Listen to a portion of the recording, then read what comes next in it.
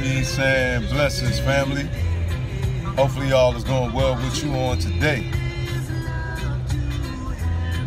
I hope you hear the music in the background. We need love, good vibrations. Well, I just encourage you don't get caught up in the foolishness that's going on. Make sure you stay away from the racism. Make sure you stay away from prejudice and make sure that you don't get caught up in the matrix. You must fully understand that it's more than meets the eye.